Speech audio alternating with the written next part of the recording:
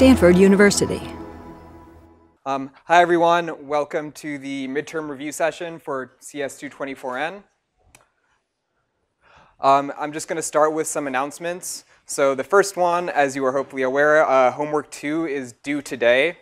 And um, we had an issue with the submission script that made submissions uh, unavailable for a couple hours. Um, so we apologize for that, but that is now fixed. Um, there's a slight change to the submission instructions to the initial version, and that is that um, we don't want you to include the trained weights for your models um, because it turns out that takes up a lot of space, and then we run out of AFS, and we can't take any more submissions. Um, so we apologize for that inconvenience. Um, the other thing due today is the project proposal. So these are both due at midnight. And um, we are saying that if you have not yet found a mentor, but you would still like to do a final project other than the default final project, um, you can still submit a project proposal and say that you have not found a mentor yet, and we will do our best to find you a mentor anyway. Um, now for a couple notes on the midterm. So the midterm is Tuesday, um, same time as a regular lecture. Um, but I want to point out that it's not being held here. It's being held in Memorial Auditorium. Um, there is an alternate exam um, only if you cannot at all make the uh, February 14th uh, normal midterm time. And if you want to take the alternative exam or you have to take the alternative exam, um, post about that on Piazza. Um, we are allowing a single cheat sheet. Uh, and um, the material on this midterm is all the lectures, um, including um, the most recent one. Um, the midterm is going to be a mix of multiple choice and true-false questions, short answer questions, um, and some longer, more involved questions that may involve gradient computation. Um, and then for SCPTs, uh, SCPD students, um, you have to turn up in person or have an exam monitor uh, pre-registered. So the rest of this lecture is going to be just review material to help prepare you for the midterm. And in particular, um, we're going to cover word vector representations, um, neural network basics, um, backpropagation and gradient computation, and we'll do some uh, example problems on the whiteboard for that section, um, RNNs, and dependency parsing. Um, and with that, I will leave it to our uh, first section, word vector representations.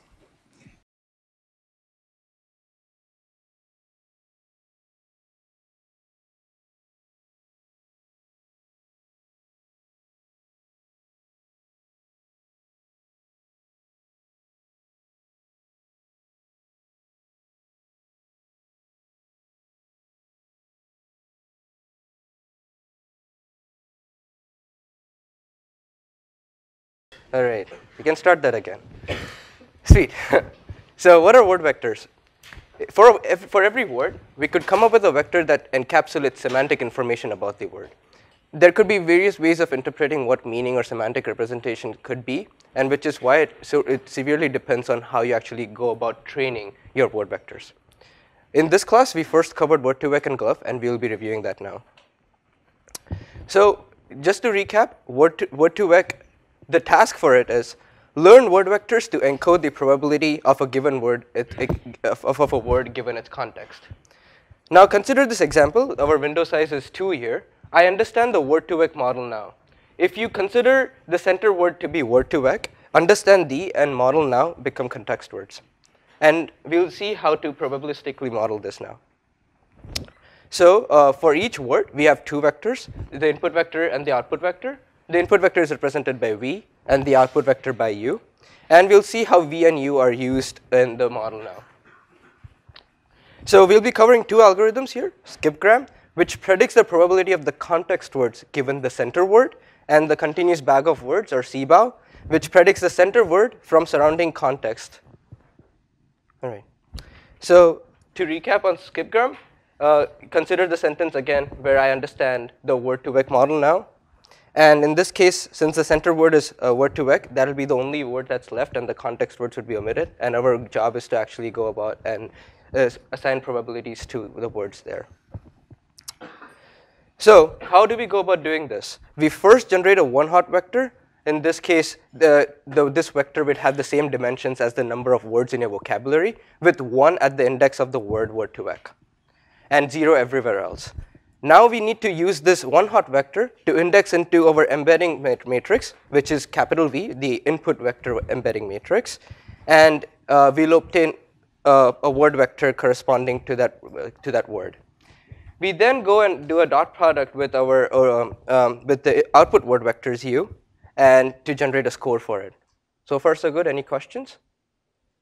All right. So once we get a score, we assign we get the probabilities by using softmax. And once we have those, we can we have softmax probabilities for every context word, and we can then find out which word actually would go into these context windows. How do we actually go about training this? We, we assign our cost, which is either given by softmax cross entropy or the negatives, uh, neg negative sampling loss. And it's, as you can see, the formula takes uh, abstracts over the uh, cost function over there. So we take, uh, uh, we take the input vector and we take the word vector uh, for the context words, and we apply these cost functions and then sum them over. Right? And our job is to minimize this loss. I'm using cost and loss interchangeably as we will do that in the midterm and in the class as well. Right? Sweet. So that was skipgram. Now we move on to continuous uh, bag of words, CBOW. Uh, now let's take the previous sentence again. I understand the word2vec model now. In this case, our job is to actually predict the context word, or, or the center word, my bad, uh, given the context words. So in this case, our job would be to actually guess the word2vec model here. So in this case, uh, as in the previous case as well, we generate one hot vectors for each of the context words uh, by, and this would again be the size of the, uh, the size of your vocabulary with one at the index of uh, the word itself. And then we, uh, we look into our embedding matrix, uh, again the in input vector embedding matrix, and obtain the word vectors for those context words. We take the average of those word vectors, and then uh, compute the score again by multiplying with the output vector matrix. Now that we have the scores, we can get the probabilities by computing the softmax function, and now we have, uh, uh, for each of the words in your vocabulary, we have a probability assigned with what, uh, how likely it is to be the center word. All clear so far? This, is, uh, this should be pretty clear since we also had a live coding session on this. Sweet. Um, the cost function here is similar to the one in skipgram, except in this case it takes in the average of the word vectors as one of the arguments and the word uh, and the center word itself. And again, our job is to minimize uh, the loss here. Sweet. Um, the other, we didn't do this as a part of the assignment, but uh, GloVe is a pretty famous set of word vectors as well. Like Word2Vec, it also captures semantic information about the words. And, but unlike Word2Vec, however, it, it also takes into account the co-occurrence uh, statistics. And we'll see what we refer to just in a second. Uh, from one of the lines in our, uh, in our review notes, GloVe consists of weighted least square model that trains on global word-word co-occurrence counts. So what do we mean by co-occurrence? Consider our corpus to be only a set of three sentences. I like deep learning, I like NLP, and I enjoy flying. Now you can see that we can come up with a n by n where n represents, the number of words in our corpus uh, matrix where each index corresponds to uh, whether this word belongs, uh, whether word j belongs in the context window of word i. Right? This is a symmetric matrix as well. So you can, as you can assume, the ordering does not matter. So let, let us denote this matrix by x and so if you index into this using i and j, that would be the number of times word j occurs in the context of word i. And let us also denote xi to be the number of times any word appears in the context window of a word i.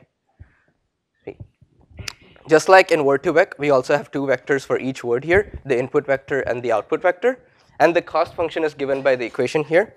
Uh, there are a couple of interesting things about this cost function which we'll cover right in a second, but uh, a few things to note here um, we are applying the least squares as we, as we mentioned earlier.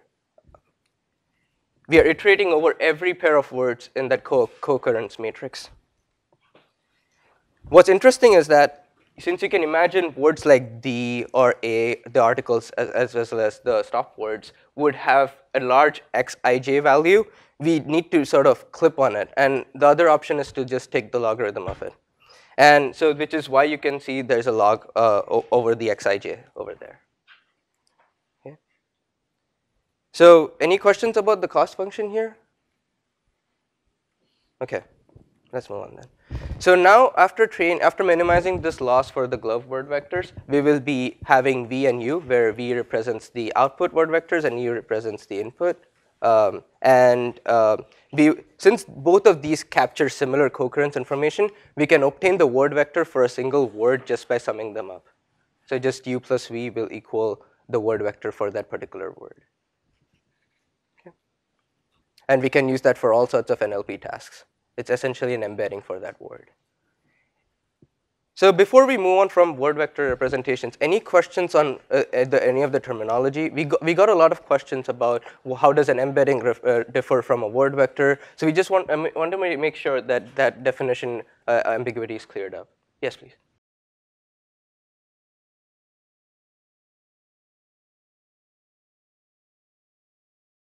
Uh, it is a, it is a vector. I, I mean, it is, it is the it is a scalar. Oh yes. Uh, the the question was why if xi is a vector, uh, how can uh, shouldn't the loss actually be referring to a scalar? Um, xi is actually a scalar because it's solely the number of times that word appears in the context window of any other word. xi so xi is defined as the number of times any word k appears in the context. So it's not a vector. Yes. Right. So the uh, I, uh, most research papers tend to use embeddings and word vectors pretty interchangeably. Basically, you can imagine it's a vector that encapsulates semantic information. Um, so in terms of analogies, you can imagine that if you had uh, if you had word vectors for king, man, queen, and woman, then if you subtract king minus uh, queen, it should be roughly equivalent to man minus woman, for example. Okay. Sweet. Any other questions? Yes. Uh, so those uh, input vectors and output vectors are solely just uh, differing in the sense that if you have a context word, we want to predict the output vector for it. So in any case, you're considering a word solely, you're considering only the uh, output vectors. Okay? Um, all right, so let's cover neural networks. This will be roughly quick because we also have RNNs and LSTMs to cover. Uh, so coming back to the basics, you have a data set X and Y, where X is the input, Y are the labels, and you want to train a one hidden layer neural network on this. You do a forward pass given by x, w plus b, uh, and then you apply a nonlinearity or activation function on it. You compute the loss. You compute the gradients from that loss using backpropagation. We'll go into depth in backpropagation with Barak. Uh, and then we update the weights using an optimization algorithm like stochastic gradient descent, or SGD. We do perform hyperparameter tuning on the dev set, not on the test set, and then evaluate the neural network on the test set itself. All right? So this was a very high level overview of uh, how neural networks are trained. Uh, let's go over the activation functions or the nonlinearities uh, quite quickly. So we have the sigmoid function. What it does, it takes an input and squashes it between 0 and 1. However, this has some problems. If the activation function was very large, if the activation was very large, it'll still always end up being 1. Or if the activation is really small, it'll still end up always being 0. So you can imagine that a lot of neurons get saturated by this. Um, and the output is not centered as 0. This is particularly bad because if the output of our sigmoid is always a positive number, then the gradients are always negative or positive. And we do not want that. Like we want the uh, gradients to be more adaptive. Okay.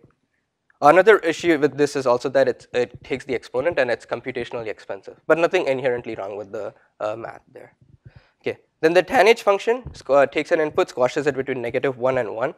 Here, in this case, the output is centered at 0, so which is a nice thing, uh, and it sort of resolves the problem that sigmoid had. However, similar to sigmoid, this also kills the gradients at saturation, and which is why uh, tanh is not as good as well. Yes?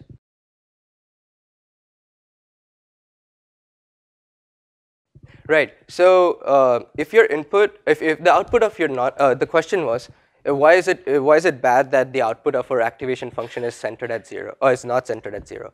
So if the output of your activation function is always positive, then um, you uh, then the gradients uh, are always either always positive or always negative because they can only go in one of the two directions, always. Uh, they do break semantic. So we are able to train networks with these functions. So it's not like it's the end of the world in terms of training neural networks. But it's it's just something that. So in this case, what would actually be better is that you take your input and you center it as zero. Either way works. Okay. Um, moving on to ReLU, uh, the rectified linear unit, which essentially takes a max and checks if it's greater than zero. If it's greater than zero, it returns the same value. This uh, does not have the problem of saturation because it's linear. Uh, it's computationally cheap. There's, there are no exponent calculations. And it's also empirically known to converge faster, right? Uh, yes? Yeah, so th th that is an, uh, so which is why I have a, the second point in the problems is referring to that. Yeah, so the problem with this uh, is that it's again not centered at zero. Uh, the larger problem with this, and it's slightly annoying as well, is that if the input is, less than zero, then the ReLU gradient is always zero. And this is a problem because once a neuron dies, it always is dead. Like you can never revive a neuron after, it, uh, after the input becomes less than zero. Sad times, I know. Um, anyways, moving on to stochastic gradient descent or the optimization algorithm. Uh, in this case, theta represents our weights or the parameters. Alpha is our learning rate, and j is our loss or the cost function. And uh, going very technically, uh, SGD update happens after every training example. However, uh, researchers tend to abuse the notation and call mini-batch SGD also normal SGD. And what mini-batch stochastic gradient descent does is it takes a small batch of training examples at once and averages their loss over before performing the gradient update. Okay. okay. Moving on to regularization, uh, this is a form of, uh, dropout is a form of re regularization and it randomly drops neuron at forward pass during training. While this might seem very counterintuitive that it should work, it does because it prevents overfitting. It forces the network to learn dependencies. When you have fewer number of neurons to learn the same task, it forces each neuron to capture more important information about uh, your in, uh, of your data and learn more important uh, abstractions.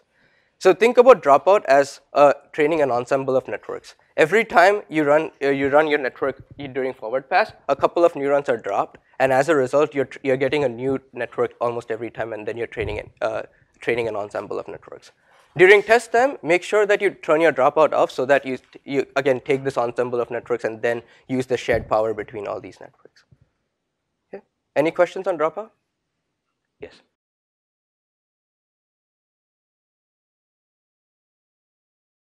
Mm, uh, so it depends. If you uh, if you make sure that um, so the question was, do you have to scale your output at whenever you run dropout at test time? And the answer to that is no. And just because um, uh, it, if you if during test time you make sure that your uh, activations are al already scaled correctly, then you don't have to do it during test time. So a few training trips and tricks here. Uh, these are a couple of loss plots. So the one in the green represents a, a phenomenon where your loss is very, uh, is very noisy. And what happens, you can see the jagged line. And in this case, what must be happening is that since your gradient updates are very large, you are, uh, over, um, you are not converging properly. You're almost iterating over and around uh, the local minima, and which is why it's advisable to lower your learning rate in that case. If it's blue, you see that there is high potential for your network to actually train faster, and hence you should, high, high, uh, you should make your learning rate higher. Okay, uh, the red line is sort of an ideal one. Again, these are uh, something that I just drew off on paint, so it's not something that's uh, very technical. It's just intuition. All right. Um, so if you're, uh, this is something that you must have faced uh, issues with in the last assignment, where if the gap between your training curve and your dev, dev accuracy is very large, that means you're overfitting. And in this case, there are a couple of ways you can actually counter that. One is by increasing your regularization constant. This could be by increasing, uh, by, decrease, uh, by increasing your dropout rate or by increasing the L2 norm weight. Okay? And again, this is very important to stress that do not test your model on the test set before you're done resolving overfitting issue. It almost sort of breaks the scientific pipeline if you if you test your network on the test set and then tweak your parameters because you're not supposed to look at the test set.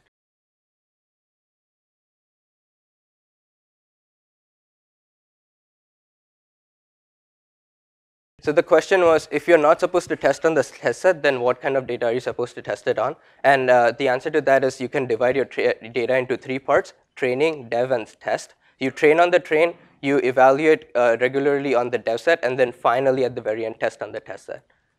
With that, I'll leave it to Barak for backpropagation and gradients.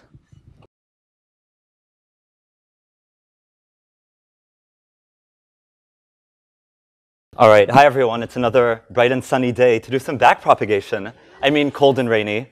Um, I think it's also pretty ironic. The last time I spoke to you from here, I told you about all of the wonderful things that TensorFlow can do with automatic differentiation, and here we are again computing gradients by hand. Um, but anyway, so the main ideas of this part of the review uh, is to go over some of the intuition and the math behind backpropagation, as well as how to use it in practice. Uh, before I begin, I highly urge you to check out Kevin's notes on gradient computations, as well as some of the principles behind like matrix calculus. I think it's very helpful to understand um, what's on those notes uh, to help you the most with the midterm. Okay. So our, our, itinerary is to first review what backpropagation is, uh, then to have a quick chat about matrix calculus. Uh, then we're going to talk about how to uh, compute uh, products of gradients correctly. In other words, when do I transpose my darn symbols? Um, and then we're going to solve uh, two midterm problems. Okay. So the problem statement that we're looking at is given some function f with respect, uh, with respect to inputs x um, and some labels y, including some parameters theta, we want to compute the gradient of your loss with respect to all of your parameters theta. And what backpropagation is, it is, is it is an algorithm that allows you to compute the gradient for some compound function as a series of local intermediate gradients. So if you have some compound function, backpropagation is the tool that you have that allows you uh, to compute the total gradient uh, through an application of the chain rule to all of the local intermediate gradients in your function.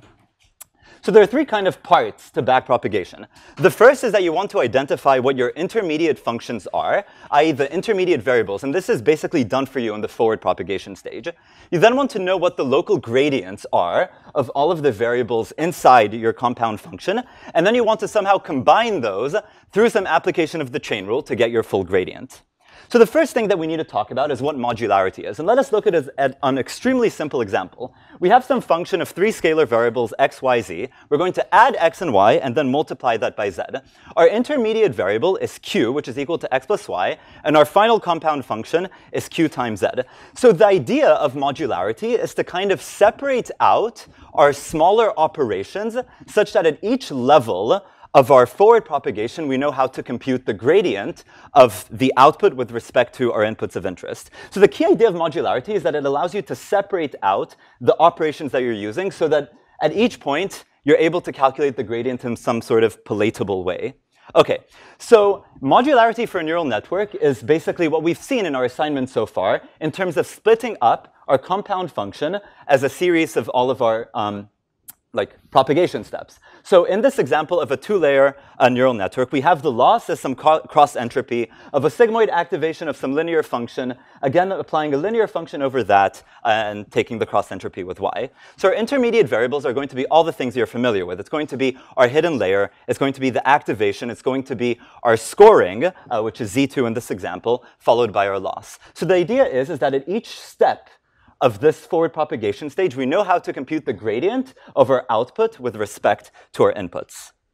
So let us look at, at how the forward propagation and the backward propagation relate to each other. On the left, we have the forward propagation, which is where the values from our input are propagated down through our network and we're basically computing the value of our compound function. What is happening in backward propagation is basically the reverse side of the mirror, where at each point we take the gradient at that level with respect to the variable above it. So the last thing that we need to do to finish off our backpropagation um, is to find out how we're going to merge all of these local gradients together to get our total gradient. And this is as good a time as ever to talk about the chain rule. So the key intuition behind the chain rule is that slopes multiply. So if I'm trying to take the derivative of some sort of compound function f and g of some input x over that x, it's going to equal the derivative of our total function with respect to the intermediate value times the derivative of the intermediate value uh, over our inputs. And this is a bit of a, a mathematical wonder, you might think, that it's, it's, so beautiful that if you have two functions, you can just um, multiply the slope of the intermediate by the slope of the function that happens after that. So this is kind of like the key tool that allows backpropagation to work. Another useful uh, analogy for understanding backpropagation is looking at circuit diagrams. So this is going to be the circuit diagram of our initial uh, simple example. We're going to add x and y, and that is our q node over there. We're going to multiply that by our z variable, and that gives us an f. So the green values in this uh, diagram represent the forward propagation values, and the red values represent the backward propagation. So looking to the rightmost, we start off with an error value of 1, because trivially, the derivative of f with respect to itself is just 1. What is interesting, though, is if we look at the error signal that is happening at the q node, it's currently minus 4, because the derivative of f with respect to q is just going to be the value of z minus 4. We know that the derivative of q with respect to x is just 1, but what we're going to do to get the total gradient at position x is we're going to multiply that gradient times our error signal that is flowing into q. And this is, I guess, like the key point uh, of what we're showing here, and um, we'll see how this kind of like uh, figure can help us uh, do backpropagation in midterm questions uh, soon. Okay, are there any questions so far about this, uh, this large overview of backpropagation before we start talking about matrix calculus? Great, okay, moving so, to some matrix calculus. Um, so let us first talk about derivatives over vectors.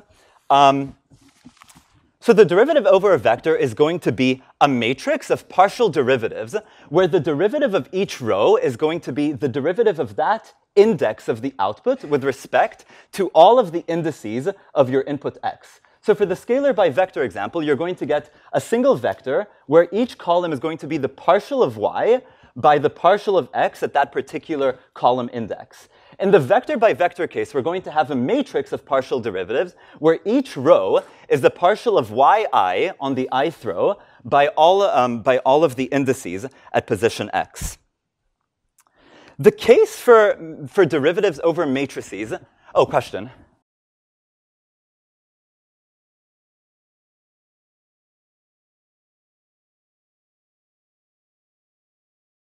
The question was, uh, does the presentation of the derivatives change with respect to whether x and y's are column vectors? So a slightly um, a potentially complicated answer to your question is that each of these derivatives represents the Jacobian of that derivative. That is a matrix that takes as input whatever shape your x is and outputs the shape of y. So if x was a row vector, yes, uh, the presentation would actually be like transposed.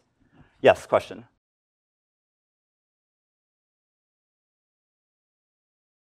Um, so the question was, which convention, are we going to be using the convention that x is a row or column? Uh, that depends on the question, and it will be stated very clearly when you're taking derivatives uh, in that question. Okay, so the case for derivatives over matrices is slightly more complicated, um, and it's complicated for this reason. You can interpret y as a function if I'm trying to compute my partial of y over my partial of a, where y is a scalar, y is actually going to be a function of every single element inside your matrix A.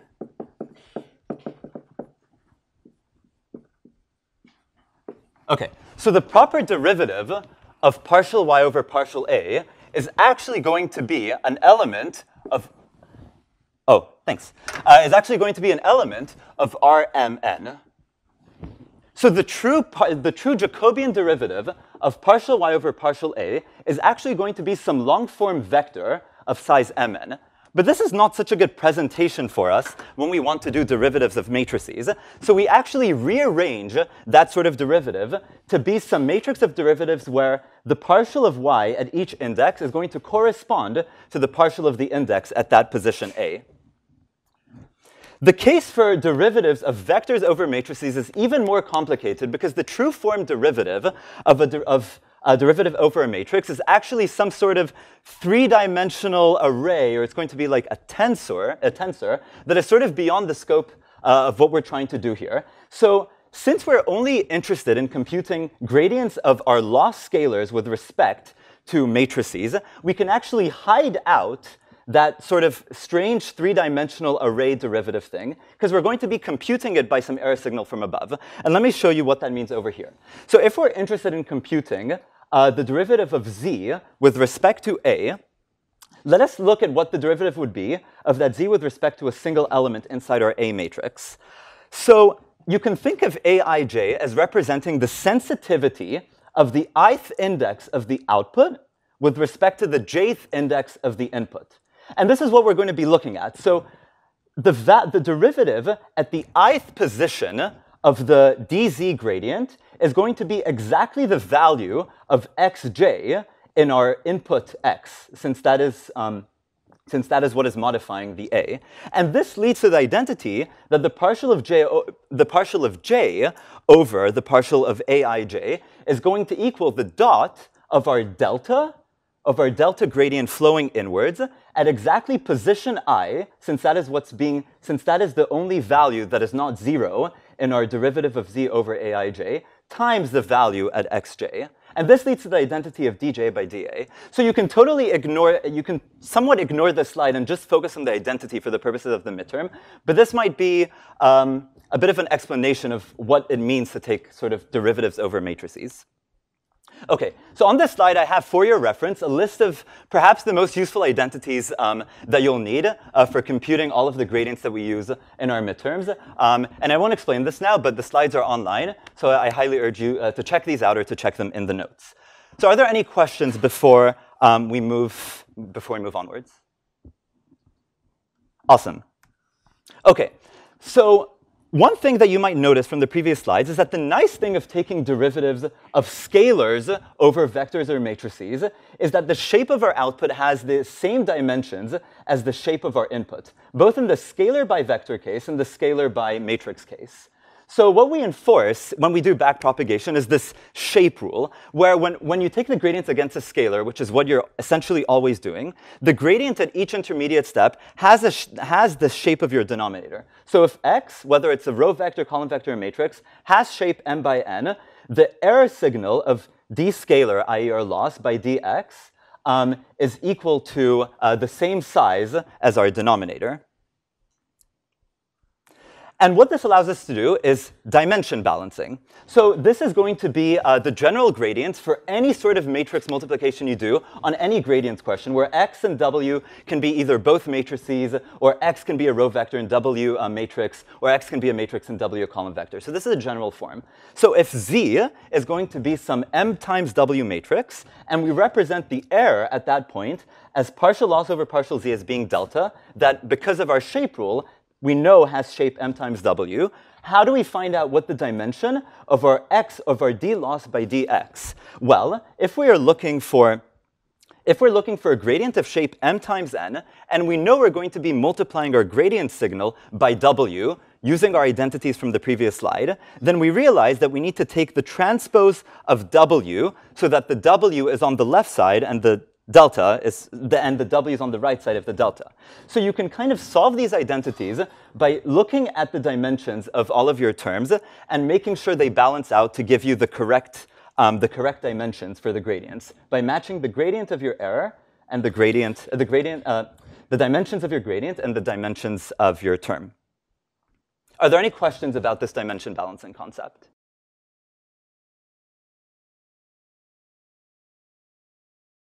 The question was, what is delta? Delta is going to be the error signal at the point of z. So since we're trying to compute the gradient of the loss with respect to x, and the level above that, like the intermediate variable above that is z, to use the to apply the chain rule, we're going to have delta represent the derivative up to the point z, and we're going to multiply that as, as an application of our chain rule with the derivative of, of with the derivative of z with respect to x.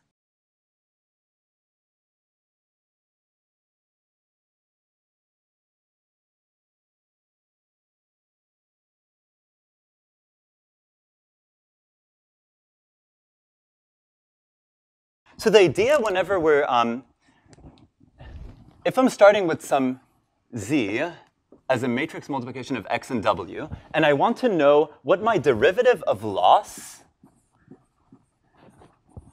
with respect to w is, using the chain rule, I know that that's the derivative of the loss with respect to z times the derivative of z with respect to w.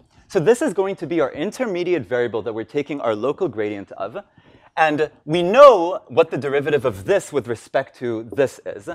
But this is going to give us the error signal up to that point. the error signal records what the value of the error is up to the point of this intermediate computation. Okay? The error signal is kind of what the gradient is up to the point of your equation, of the loss down, uh, down to the last variable that you're looking at, which is the output of that expression. Okay. All right. So it kind of feels like dimension balancing is this kind of like cheap and dirty approach to doing gradient calculations, but they are indeed kind of like the most um, the most efficient tool that you have to computing uh, gradients quickly um, in most practical settings and especially the midterm. But I do encourage you to read the gradient computation notes uh, if you want to understand uh, how, how the gradients work in, uh, from first principle.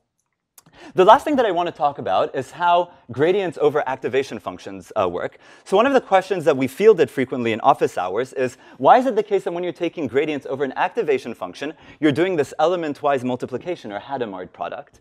And the answer to that is, if you're looking at, so the answer to that is that the activation function is a scalar, is a, is a function that maps a scalar to another scalar. Um, though we represent z as, a fun as z as a vector, uh, as a sigmoid of an entire vector h, the sigmoid is actually being applied to each, indiv uh, each individual element in that vector, which maps the same index in your output. So the, the way we represent the true gradient, the true derivative, is that it's going to be a diagonal matrix where each index on your leading diagonal is going to be the gradient at position at, uh, at uh, um, the gradient of the ith index of your input. And multiplying some matrix or vector by a diagonal matrix is equivalent to doing the element-wise multiplication of a vector itself, which we represent as the Hadamard product. Okay, uh, are there any questions about what we, we've discussed so far before we get to some midterm problems? Yes?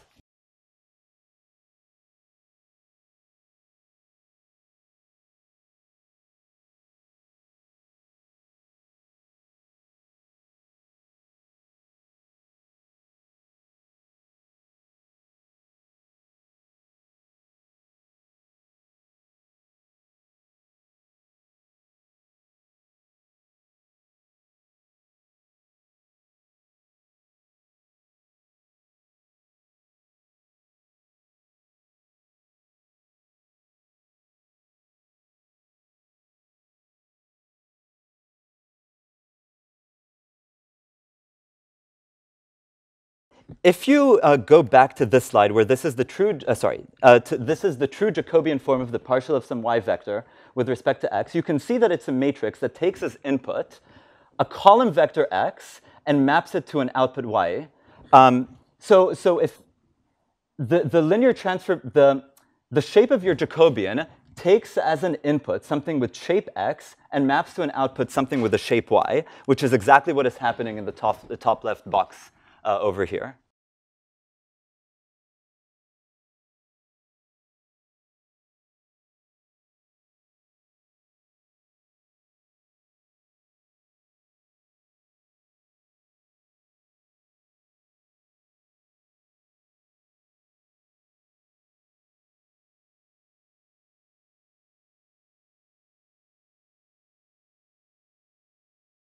Uh, can we talk about that question uh, maybe after the lecture so we can move on because we have a few more sections? Okay, uh, so let's get through, and, and maybe uh, when we actually do some midterm problems, uh, it'll become more apparent uh, how it works. Okay, so the first question that we're going to look at is to do with Siamese networks. And a Siamese network basically allows you to compute a similarity metric between two inputs x, uh, between an x1 and some x2 inputs. And this allows you to sort of compare the similarity of two word vectors or two sentences. So the first thing that I like to do when we're um, taking, when we're starting some gradient problem is to draw a graph of, of how our variables are related to each other. So what we can see is we start off with some j, at the top, we have our cost function j. It takes as input an h1 and an h2 as two hidden vectors. These are activations of z1 and z2. And I am defining these variables my myself, so I need to specify what they are. And this is going to be, in this problem, we're treating our inputs as column vectors. And on for z2, it's going to equal to x2 plus b. So we have two inputs, x1 and x2. And one interesting thing to notice about Siamese networks is that the variables, double, eh, sorry, the parameters w and b are shared across both of these activations. So if we're interested in taking the derivative of j with respect to w, we need to add the derivatives coming from both branches down. So the first thing that I like to do when I'm computing my gradients is basically to express this graph, and we'll see how it's useful to us in a second. Okay, camera C. Awesome. So if we want to start our gradient computations, uh, the first thing we, we, want to do is to take the derivative with respect to j. So let me write out what my j is going to be. It's going to be half of the Hadamard, uh, sorry, the Frobenius norm of h1 minus h2 squared, f, and we're going to have a regularization term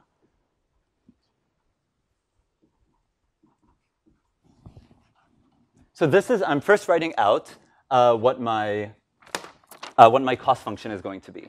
And I use this graph to kind of inform me about where I'm taking my derivatives and what my error signals are going to be. So the first thing I want to find out, if I want to compute what is the derivative of j with respect to w, this is what I'm interested in. So the first thing we're going to do is flow down this branch.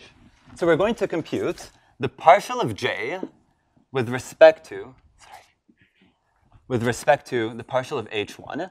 And I'll leave this uh, for you to show in your own time what the derivative over this Frobenius norm is, but it's basically just going to be h1 minus h2, because the 2 cancels out and you're left with an h1 minus h2 term. Equivalently, the gradient with respect to h2 is just going to be the negative of that expression. Okay? So one thing that I like to do is to also record what the dimensions are of all of my gradients. So over here, since we're dealing with column vectors, this is going to remain an m by 1 vector, and this is going to be an m by 1 vector as well. And the other thing I'm going to do is give a name to these error signals. So this one is going to be delta 1, and this one is delta 2. And what is nice to represent using this graph is what my error signals are flowing down it. So over here, I've defined delta 1 to be the partial of j with respect to partial of h1. And over here, we have delta 2 being the partial of j over the partial of h2. Okay? So the next thing we're interested in computing is what is the derivative of j with respect to z1. So we're going to apply our chain rule. We know what the derivative of j with respect to h1 is. So we only, sorry, we want to compute the derivative of j with respect to z1 we know what the derivative of j with respect to h1 is, so we only need to compute the derivative of h1 with respect to z1. So over here, we have a sigmoid activation function. So we just need to compute the gradient over that. So my partial of j over the partial of z1 is going to equal partial of j by partial of h1 times the partial of h1 by the partial of z1. And that is equal to my first error signal, with the Hadamard product of, this is getting a bit tight here, um, it's going to equal uh, my error signal, Hadamard product, with um, h1 times 1 minus h1, which, as we know from assignment 1, is the derivative of the sigmoid. I'm running out of space here. Uh, let me move over here. I hope it doesn't get shadowed. Similarly, the partial of um, of j with respect to z2 is equal to the partial of j by the partial of h2 times the partial of h2 by partial of z2. And that's also similar, going to equal our current error signal flowing down to h2. So it's delta 2 had Hadamard product with uh, h2 times 1 minus h2. And we're going to give this a name. This is now going to be delta 4, and this one is going to be delta 3. Okay? Uh, so over here we have delta 3, and here delta 4. Okay? So now the last thing we want to do, if we want to compute the gradient of j with respect to w, this is going to equal my error signal up to z1, so partial of j by partial of z1 times the partial of z1 by the partial of w. It's also going to, and we're going to add to that what's happening in the error signal at the other branch. So that's partial of j by partial of z2 by the partial of z2 over the partial of w.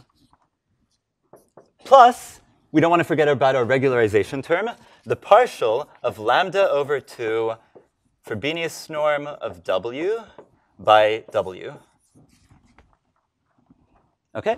And this is going to, now, we need to do some matrix balancing using what we discussed earlier, since we're taking the derivative through over this matrix product over here. So what we need to do is we want to get, we want this final product of each of these things to have the same shape as W. So W is going to be, is an m by n matrix. And this is just given to you in the problem. We know that delta 3 and delta 4 are m by 1. Why? Because because we're to compute, um, when we computed what uh, our delta 3 and delta 4 are, we just took uh, the element, element-wise product of whatever was up here, so it's still going to remain m times 1. Finally, we know that x1 and x2 are both n by 1, since they're column vectors. So if we want to, we know that we're going to, we know that this is delta 3, and we're going to have to multiply it by the x's in some way. So we see that if we want our final product to be m times n, we're going to have to do this expression times the transpose of this. So this is equal to the delta 3 times w1 transpose plus delta 2, sorry, delta 4 times, sorry, delta 3 times x1 transpose plus delta 4 times x2 transpose. And finally, we want to add this expression. And again, I will leave this for you to show in your own time that the derivative of this Frobenius norm, the 2 cancels out with this, and you're just left with lambda w. Okay? Yes?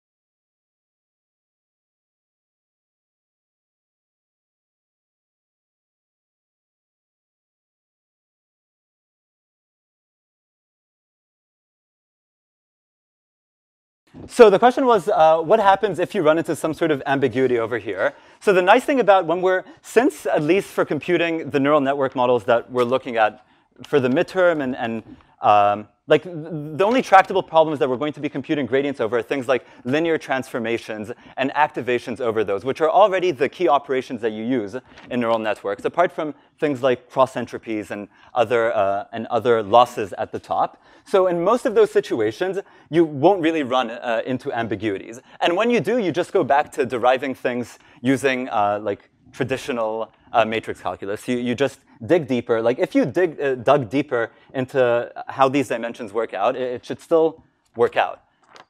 So you, you just won't, you, you won't find ambiguities in these types of problems. Okay.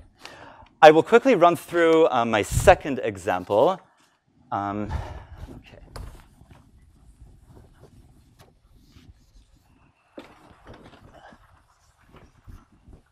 Okay, so the next example that we're looking at Suppose you wanted to build uh, word vector representations, and you couldn't decide whether you wanted to have a hidden layer that is activated by a sigmoid, or you couldn't decide whether you wanted a hidden layer that is activated by a ReLU. So the only thing better than making a choice is to do both of them. So what we're going to do is we're going to have a network where at the top we're going to have a cross entropy over some prediction y that takes in some z3.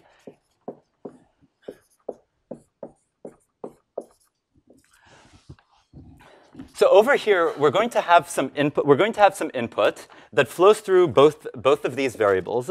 Uh, so here we have x and w1 plus b. So we're going to apply a linear transformation over our input x, and then sigmoid activate it to produce this hidden layer. Over here, we're going to have a different linear transformation with two other parameters, uh, two other um, matrix and bias term. But here, we're going to ReLU activate it. Then we're going to add our H1 and H2. At Z3, we're going to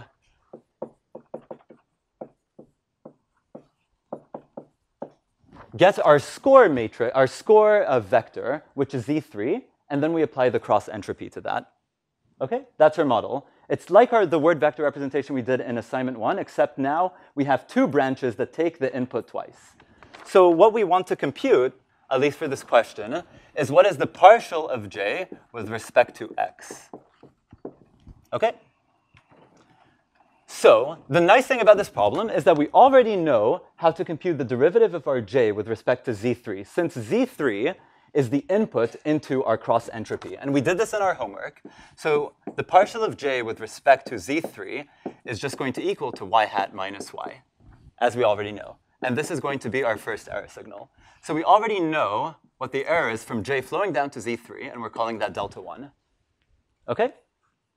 The next thing we see is that the partial of z3 with respect to h1 and h2 are actually equivalent. Because if we know what the partial of z3 is with respect to this sum, since the gradient of h1 plus h2 with respect to h1 is just 1, and similarly with h2, we can simply write down that the partial of j with respect to h1 is equal to the partial of j with respect to, sorry, partial of h2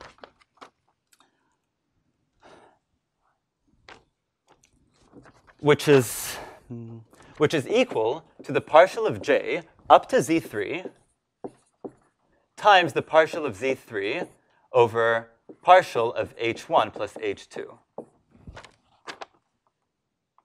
And what we need to do here is, again, some matrix balancing. Since um, we know that h is a 1 by m row vector, and I forgot to specify, but this is actually pretty crucial I missed the next slide, I did convert this problem into the exact same model, except using uh, row vectors, just to show you that the way we do dimension balancing in a row vector uh, versus a column vector situation is basically exactly the same. So we have h being 1 times m, and our w3 is m times k, is m by k. Our delta 1 is also 1 by k. So what we can see is that if we wanted to multiply our error signal from above by what we know is going to be the derivative with respect to h1 plus h2, we're going to need to transpose our w3 and multiply our delta 1 by that transpose. So going up here, I'll just write an equal sign. This is, I'm continuing this line over here. That is just equal to delta 1 by w3 transpose. And I'm going to call this delta 2 and then I'm going to fill in my error gradient flowing down here. Okay? Moving over to this side, if we want to move down the branches, we now want to compute the derivative of j with respect to z1 and z2. So the partial of j with respect to z1 is equal to the partial of j up to h1 times the partial of h1 up to z1. And that's just going to equal, since this is an activation, this is a gradient over an activation function, we again use our element-wise multiplication. So that's just equal to delta 2 by, since on the left branch we're doing a sigmoid, we're going to have um, just h1 times 1 minus h1. And on the other side, our partial of j with respect to partial of z2, and I'll just skip writing out, uh, like I'll, I will not write out the chain rule uh, for the sake of time. That's going to equal our delta 2 by the gradient of the ReLU activation function, which is 1 if our z2 is greater than 0, based on the ReLU as we saw it earlier. And we're going to call this delta 3 and this delta 4. So I'm going to fill in the deltas in my graph. Okay? Awesome. So the last thing we're going to do, and I'm again running out of space,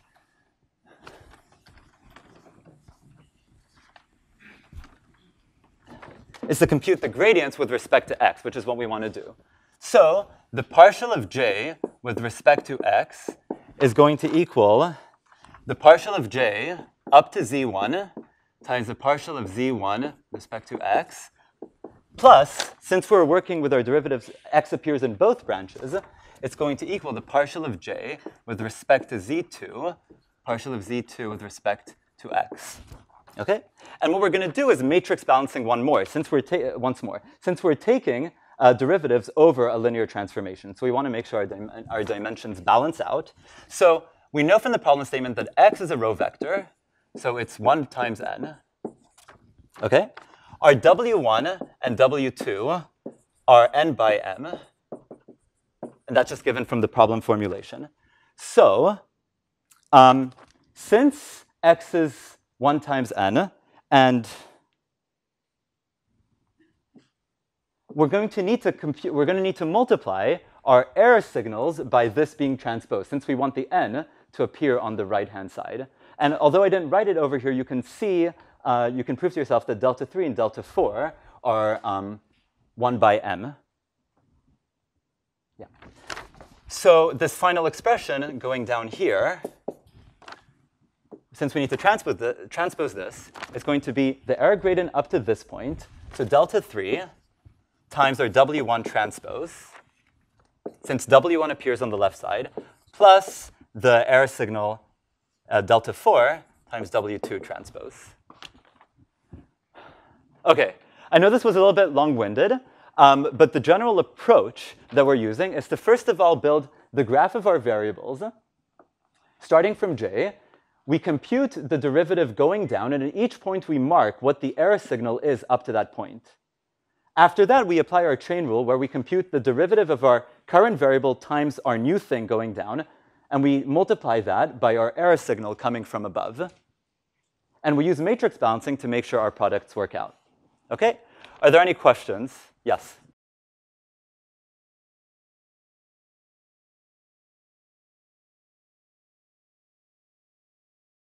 Uh, I would say yes, since it helps you, um, it helps you keep track of, um, it helps you keep track of derivatives up to a certain point, uh, and it also helps you, so if you can just take my current error signal, specify what the dimensions of that are, it's very easy to make sure that your dimensions balance out when you compute my current error signal by what follows afterwards. I mean, you don't have to, but it, it certainly is a way of um, keeping like your calculations clean and organized. Okay. For the sake of time, I'm going to move on to the next section, but, um, but we can take all questions about backprop uh, after the lecture. Uh, so my last slide, and you can look at this up later, your menu for success, but I recommend doing all of them, is to write down your graph, compute the derivatives from the top down, keep track of your error signals, enforce that the dimensions balance out. Um, and yes, that is it. Thank you. Sorry. Cool. Hi, everyone. So our RNNs are probably some of the coolest architectures that you've learned in this class, and Juhi and I have the pleasure of unrolling them a little bit further for you. So cool. So let's dive right into it. We'll also show you some midterm questions from past exams. So here, you now have a distributed representation of each patient note. You assume that a patient's past medical history is informative of their current illness. As such, you apply a recurrent neural network to predict the current illness based on the patient's current and previous node vectors. You're asked to explain why recurrent neural network would be um, better than a feed-forward network, in which your input is summation or average of past and current node vectors. So you can talk to your neighbors, just like take a minute to discuss this problem and figure out like why an RNN would actually be better than a feed-forward one.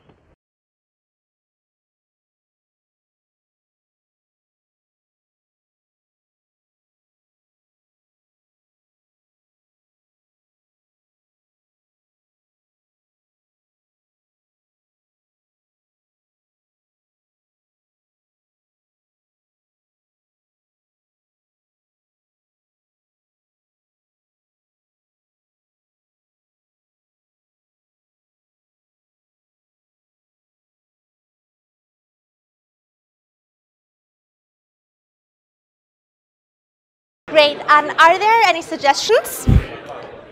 Are there any suggestions to why RNNs might be better than feed-forward ones?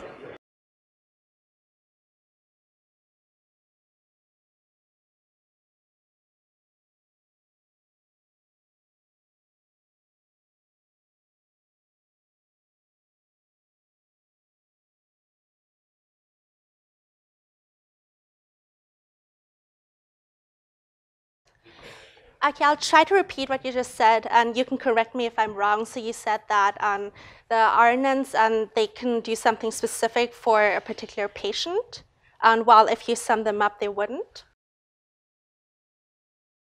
Okay, um, thanks. Are there any other suggestions as well?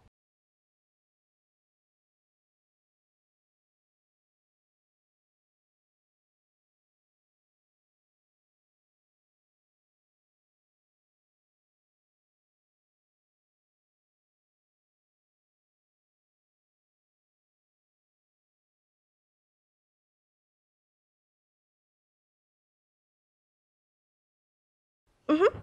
And so, and what you just said, and again, you can correct me if I'm wrong, is that like the more recent information about this patient might be more relevant, and that is something that an RNN could capture, which a feed-forward network might not be able to capture.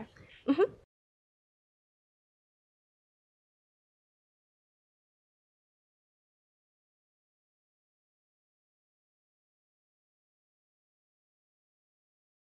Mm -hmm. Yeah, so what I just said right now is that um, there is some time dependency in this data since we have a sequence of um, patient notes. And if we were to sum them up together, we lose that temporal information.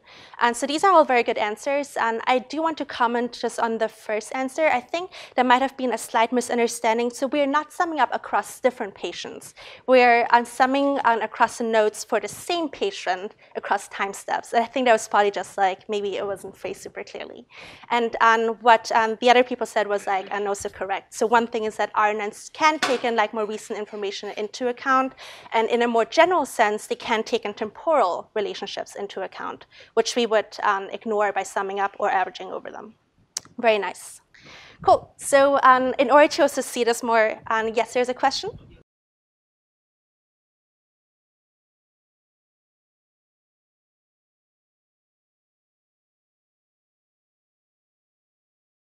The question was on what, what advantage would an RNN give us over taking a weighted average of the node vectors?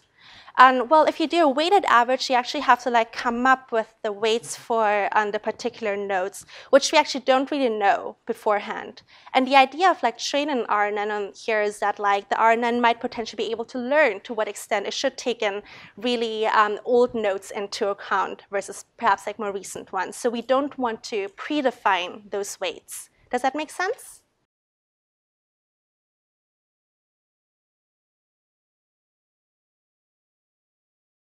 Okay, and we can also talk about that after class as well. Um, great. So let's just like take a really quick um, look at the RNN structure. So this is a very simple vanilla RNN. The key points are that the weights are shared across time steps. We also call them oftentimes tied. And the core of an RNN is the hidden state. And the hidden state depends both on like the previous hidden state, so it kind of like captures some of that memory from earlier, as well as the new input. And the backpropagation RNN happens across all time steps. And you should have seen that on the assignment too. And RNNs, because of their architecture, are very suitable for learning representations for sequential data that has some type of temporal um, relationships. And the predictions can be made at every time step. So you can have a Y, as can be seen in this um, figure over here. You can make a prediction every time step, or you can make it at the end of a sequence, depending on whatever your application might be. So in NLP, RNNs um, come to use, especially when we're doing language modeling. So language modeling is the task of computing probability distributions over a sequence of words. So that can be, for example, a sentence or a document. And language modeling is very important when we are doing things like speech recognition, text summarization, and so on. So in an RNN, when we want to use it as a language model, what we pass in every time step, so the inputs xt, are our word embeddings. And, and you could use word embeddings, for example, that you produce with word2vec or GloVe. So you pass them at every time step, and, and our prediction is just the next word in the sequence. So we can use that um, as a task in order to train this RNN. And the idea is that the hidden representations at the end, so if you take the hidden representation at the last time step on a trained RNN, captures some of the semantic meaning of that sentence or sequence of words. So that can be, for example, use of translation, which is something you saw, um, on, or like you saw on Tuesday, I think, that Rich, Richard presented. So here, this is actually a, a slightly fancier RNN where you have an encoding part and a decoding part. So for the encoding part, that's like your first RNN. You feed in the word embeddings for like the German words, so like echte Kekitze, and um, then you pass in that hidden representation, which captures like the meaning of the sentence into the second RNN. So the weights are shared across the first RNN, and they're shared within the second RNN. And the second RNN is the decoder, which produces the um, English sentence here. So this is like one example of using this type of RNN as a language model for translation. Great. So the problem, though, like with the vanilla RNNs, is um, that we can um, see the problem of vanishing gradients. In backpropagation, when we do backpropagation RNNs, there is a recursive gradient call on the hidden layer. And so that's basically since we define a hidden layer in terms of its previous hidden layer. And the magnitude of the gradients um, of like the typical activation functions that we use, like tanh or sigmoid, are between 0 and 1, which causes, and if you multiply a number that's smaller than 1 multiple times, what happens is that the number will shrink very quickly. And if it shrinks very quickly, essentially what happens is that your final gradient will be close to zero. And if your gradients are close to zero, that essentially means that you're not updating your parameters. And that also just means that your RNNs don't really learn. So in order to um, uh, address this issue, this is like why people have worked on many different architectures, and GRUs, LSTMs were some of the more popular ones. Yes, there's a question?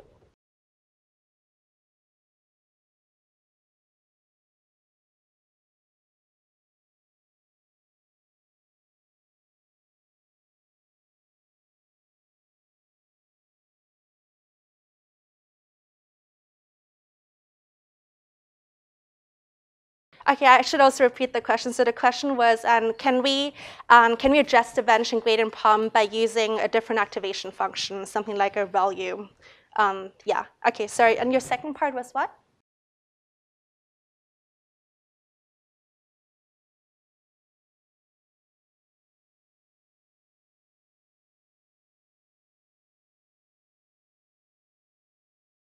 Yeah, we can also we can also discuss this after class too. Yeah, and so good question though. Okay, so GRUs and LSTMs to the rescue. So I'll talk briefly about GRUs, gated recurrent units. So the, the addition here is that we are introducing gates. So we have a reset gate and an update gate. And you can intuitively understand these gates as like they're controlling the long-term and short-term dependencies. It's like to what extent do we want to memorize things from the past, and to what extent do we just want to like take something from like the current input.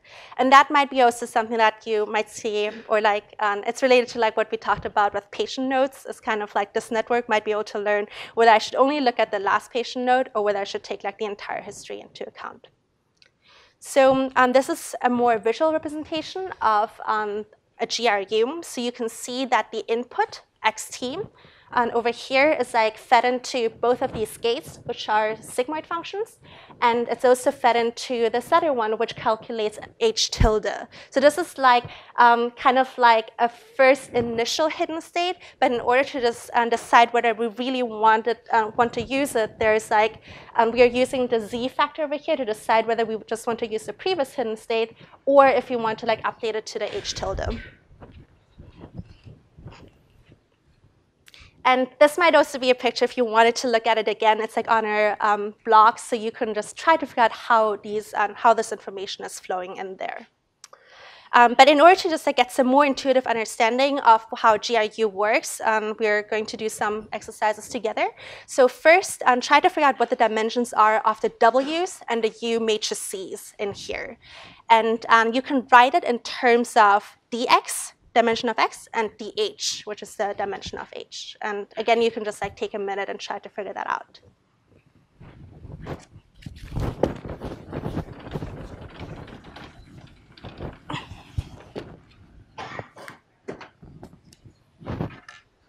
And you can also discuss again with your neighbor.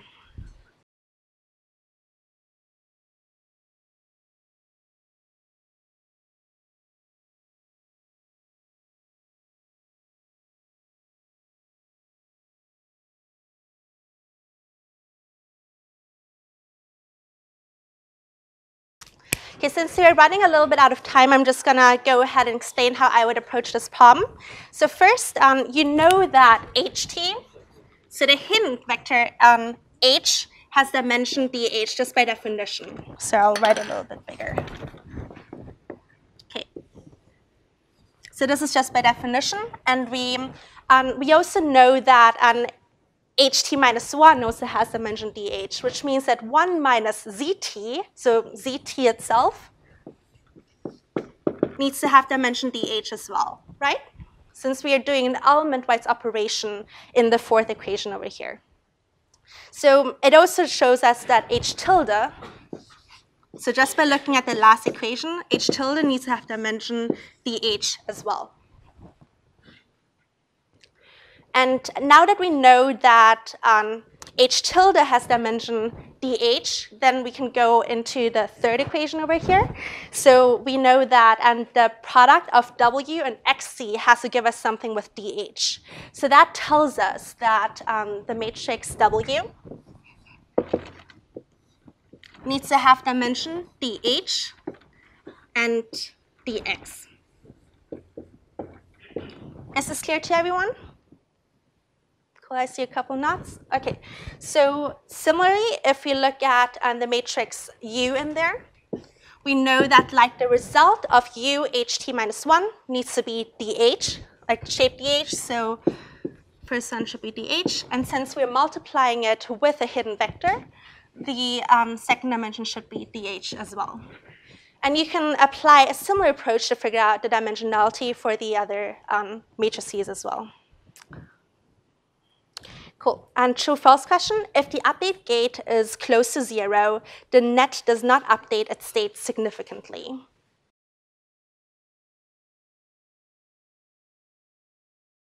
Yeah, this one should be pretty obvious if you look at um, the fourth equation, because in that case, um, you're essentially just setting ht to ht minus 1. And this also shows that like um, if the network learns um, that zt is like pretty close to 0, that just means that we are um, essentially using our um, input like from the first time and just like, so essentially just means that like your input from a long time ago still matters a lot in the future. Okay, another related question, if the update gate is close to 1 and the reset gate is close to 0, the net remembers the past state very well, true or false?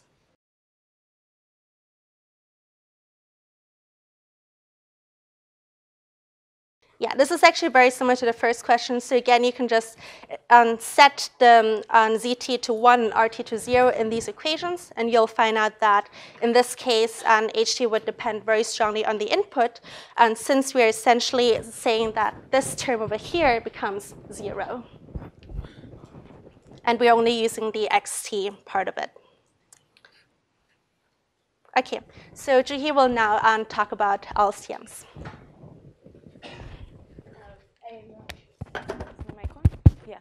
So uh, I'll just run through LSTMs really quickly. Uh, LSTMs are kind of similar to GRUs except they are a more common model. So uh, instead of just having two gates, now we have multiple gates. Uh, one is the input gate, which decides how much of the how much weight we should give to the current input or the current word that we are looking at. Um, the FT gate or the forget gate uh, will decide how much we want to forget our past um, and just like uh, whether we how much we want to remember the past or just forget it. Um, the new gate OT, which is a little bit different, is how much we want to expose our current cell to future. So combined the OT from the current, uh, combined with the FT from the future, will decide how much our uh, memory will be used in any other future node. So you can see how adjusting this can decide like whether you just want to remember the t minus 3 time step, but not t minus 2 and t minus 1 uh, instead of just going linearly backwards and having to remember everything from the past. Um, so all these gates are computed uh, using a sigmoid because that's between 0 and 1. Um, and that makes sure that uh, when you are doing the dot products uh, with, or sorry, the Hadamard products, uh, in the end, you have kind of like a probability distribution of um, not just completely forgetting, which would be zero, or completely remembering, which would be one, but fuzzy probability of have remembering a little bit or forgetting a little bit. Um, does that make sense? Another difference between LSTMs and GRUs uh, is the CT and HT node. So now you don't just have one memory, you have two memories. And uh, these define different things. Like your CT would uh, define exactly what your memory is, while your HT defines in your IT, FT, and OT how much uh, or how you want to remember uh, the HT minus one memory or how much your memory should be remi uh, remembered by the future. So instead of just having one, now we have two. Um, these have a certain number of uh, disadvantages. For example, there are a lot more parameters now, which means you need more space, which, need, which means you need more learning, and which also means you need much more training data so that your model doesn't start overfitting. And empirically, GRUs and LSTMs have been uh, very close in terms of results. So in the end, it's a trade-off on how much accuracy you want compared to how much you are uh, willing to use on uh, use your resources on training time and training data. So here's a quick illustration. Um, the lower row corresponds to your HT flow, while the upper row corresponds to your CT flow. Um, and both of them are memories and uh, they interact with each other, which means they are not completely independent, but they represent different ways in which your future or your um, uh, next words will be using your current word. Yeah, question?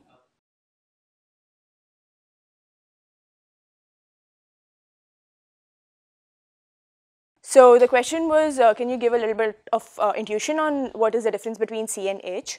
And um, so if you see from the, um, the formulae, uh, the H's represent or the H's decide on what your input gates, your FTs and OTs will be. So they decide how much you want to remember or forget or expose yourself. While your CTs are the one that are actually being used in the future, um, so they are the ones that are combining with the gates. And so basically it's like saying uh, your um, HTs will decide uh, the fuzzy probability of how much you want to remember and how you want to remember, and your CT will kind of decide what you want to remember from the previous states. Um, this is just like a intuition. It's not exactly like that. Your like LSTMs might learn something differently uh, depending on your problem statement, but that's like a rough way of how you can think about it.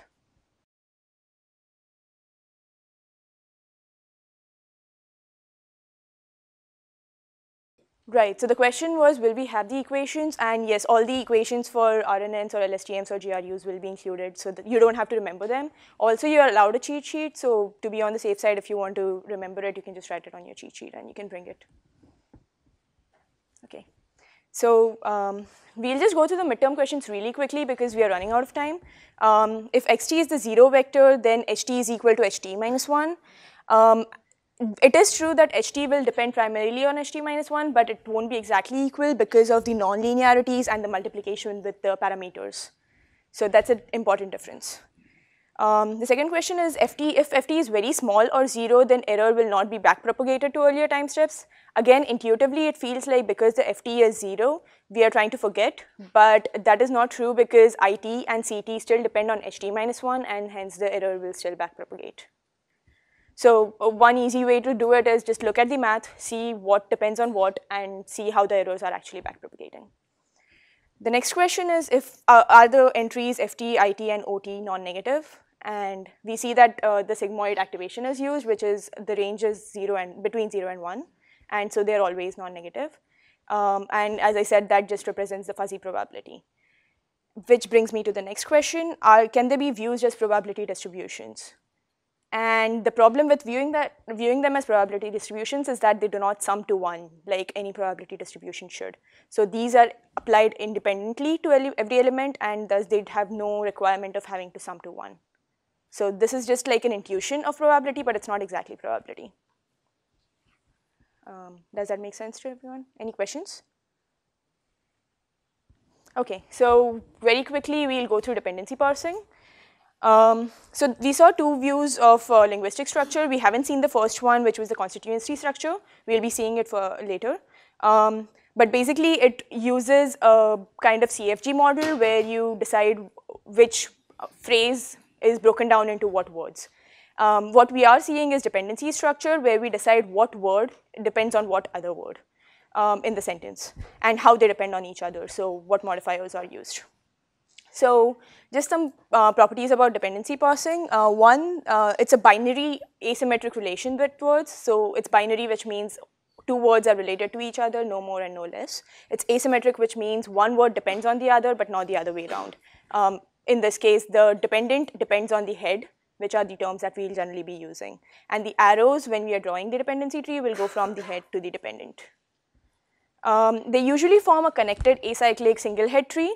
And uh, to make sure that this happens, we also add a fake root node so that the, the one of the words will always have the head as a root node. And this also makes sure that every word has a head and none of the words are just dangling. And in the rare cases where you have an, a disconnected tree, the root node makes sure that all of them are con connected into a single tree. Um, any questions? Okay, so we saw two different uh, types of dependency parsing. One was the greedy deterministic transition-based uh, parsing.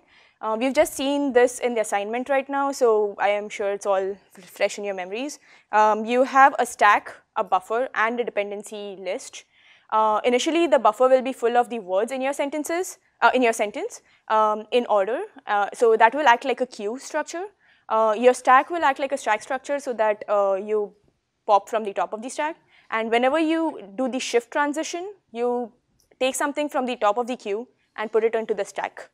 The left arc will take the top two elements from the stack and make, a depend, uh, make an arrow from the first element to the second element and just remove the second element. Um, and this can be seen from the example here, which you can just go through the slides and um, go like decide. Now, how do we decide which transition to use? This is generally done by some kind of a classifier, like you could use like multi multi-class SVMs or any other kind of machine learning classifiers that you know of. Um, the features that any machine learning algorithms need, uh, so here we'll use the features and you can always add more features, but the typical features that are generally used are is the top of the word on the stack, the top, uh, the first word in the buffer, and uh, maybe a look ahead on what words are going to come next, and also the dependence of the current word in the stack. And now that we have all the words, we also use the parts of speech of all these words. So generally, we know that adjectives and nouns are very likely to be dependent uh, or connected. So that is something that you would want to use as a feature. Uh, the others are kind of what dependencies that we have already figured out till now. And uh, using all of these, we try to get what kind of uh, transition we want to do next. And the final evaluation metric that we use is either UAS, if we are not typing the dependency from one word to another, or LAS, which is the labeled attachment score, which types the attachment from one word to another. And these are basically kind of like accuracies, uh, like you can think of them as accuracies. Okay. So one thing that we saw was projectivity and uh, how we can handle cases where, where the uh, non-projectivity comes in. And uh, what projectivity means is that there are no arrows that cross each other when you make when you put them in a horizontal line. And uh, why this would be a problem is if you go back to this kind of a parsing mechanism. Um, here, the from and who will never be next to each other on a stack, and thus left arc or right arc will never be able to get a dependency between from and who. And so how do we handle something like this? One simple thing would be you just declare defeat. You just say that, okay, these are really, really rare cases, and if you don't care about your accuracy as much, and you don't want to complicate your model a, bit, a lot, then you can just leave them as it is and let them decrease your accuracy a little bit. Um, if you want to handle them, uh, one of them would be to use a post processor. So you go through the entire parsing mechanism, and in the end, you use some kind of a post processor to identify which ones have been parsed wrongly, and try to like try to resolve them. And this can be done using multiple methods like classifiers or um, other things. The last one is you use a completely different uh, parsing mechanism um, or you make slight modifications to the ones that already exist. So in the greedy transition-based parsing, you could add a transition, let's say swap, where you just swap the ele elements that are already in the stack so that you bring the element that is at the bottom to the top, and then you can um, add a left arc or a right arc to it. Um, there are other more complicated ways of doing it, and those can also be done. Um, finally, we'll have the neural dependency parsing. Um, so one problem with greedy deterministic parsing that we saw was the features were all one-hot vectors, uh, where it was either the word um, or the position, part of speech. And we've seen a lot of problems with one-hot vectors before. One is that you don't have the semantic representation of the word. So if two words are actually similar in either uh, grammatical sense or uh, meaning-wise, um, you don't understand that just because of the one-hot vector notation. And an easy way to do some uh, to solve something like that is using an embedding matrix. And here we'll not only be using embedding matrix for the words, but also the parts of speech and the dependency labels. And all of these are then added into one uh, feature stack uh, or a feature row.